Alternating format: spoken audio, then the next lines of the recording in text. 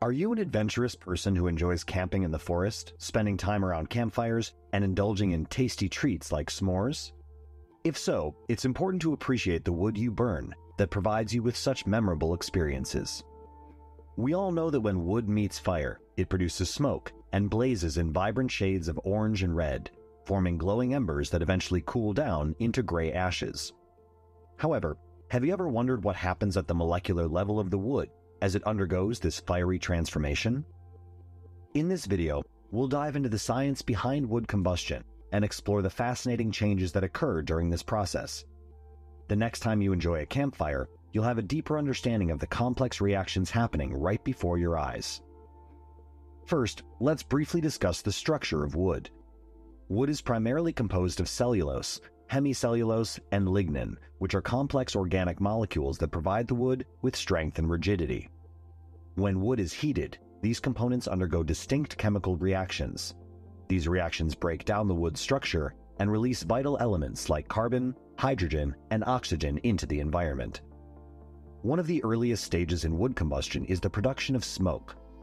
Smoke is a result of incomplete combustion or pyrolysis, and it consists of small particles and gases like carbon monoxide, methane, and volatile organic compounds, VOCs. Pyrolysis is the chemical decomposition reaction that occurs within the wood when it's heated. As the wood's temperature rises, the compounds in the wood start to break apart, releasing their trapped energy in the form of heat. Following pyrolysis, wood undergoes a process called oxidation. Oxidation happens when oxygen from the surrounding air reacts with the wood's fuel molecules, causing them to release even more heat. This exothermic reaction results in the bright flames and cozy warmth that we so fondly associate with campfires. As the wood continues to burn, the embers begin to glow.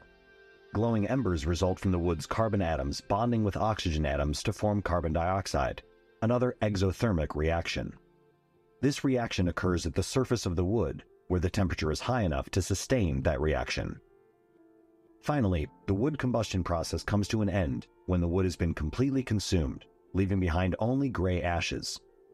Ash is the non combustible residue that remains after the wood's chemical reactions have run their course. The ashes are mainly composed of metal oxides, such as calcium oxide and magnesium oxide, which do not burn, but instead remain as a powdery substance after the combustion process. In conclusion, wood combustion involves several intricate chemical reactions under the influence of heat, resulting in the release of energy, the formation of smoke, bright flames, glowing embers, and the eventual production of ash.